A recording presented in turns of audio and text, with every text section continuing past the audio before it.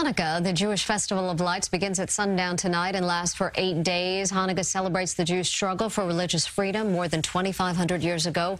Candles are lit each night, recalling how one day's supply of oil by a miracle burned for eight days in the rededicated temple in Jerusalem.